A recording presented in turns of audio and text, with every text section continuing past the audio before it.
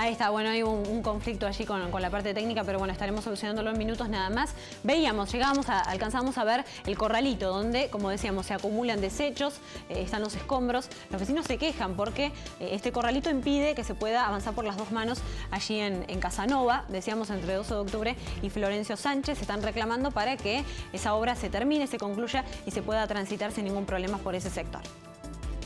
Estamos en Casanova entre 12 de octubre y Florencio Sánchez. Durante mucho tiempo el problema era 12 de octubre. La falta de pavimento hacía que el tránsito no fuera fluido por esa arteria. Ahora está nuevita. En cambio, a tan solo 50 metros del lugar donde el pavimento está en muy buen estado, vemos esto que realmente da lástima. Aquí se realizó una reparación para la colocación de un medidor de agua. La reparación salió mal, volvieron nuevamente a reparar y han colocado este corralito más la montañita de tierra Después siempre viene alguno que tira la basura, ahí se observa una bolsa que está tirada en el medio, aquí hay, no sé, hasta un tarro de mermelada que han dejado tirado en el medio del lugar.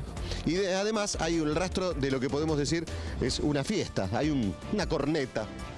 ¿Qué nos decían los vecinos? Que este lugar está muy cercano a la zona de boliches, por lo cual durante la noche la cantidad de gente que va hacia esta zona hace que el tránsito se haga mucho más fluido. Pero como ustedes pueden apreciar en el lugar, al colocar este corralito de madera, la mano de calle Casanova ha quedado circunscripta al paso de un solo vehículo, lugar que está muy roto, por lo cual quienes vengan rápido y no estén advertidos, seguramente se van a pegar un topetazo. Y los que no, tienen que obligatoriamente disminuir su velocidad. Lo cierto es que esto es una molestia para los vecinos, porque además del corralito y de los escombros que están aquí, hay un montón de tierra que está en la vereda. Yo sigo con la corneta y el tarro de mermelada en la mano observarán que estos son los restos de la obra. La casa obviamente necesita la obra, pero lo que los vecinos se preguntan es hasta cuándo esto va a estar colocado en el medio de la calle. Hace 15 días que esta reparación se realizó, hace 15 días que se puso como precaución el corralito y ustedes pueden observar que los coches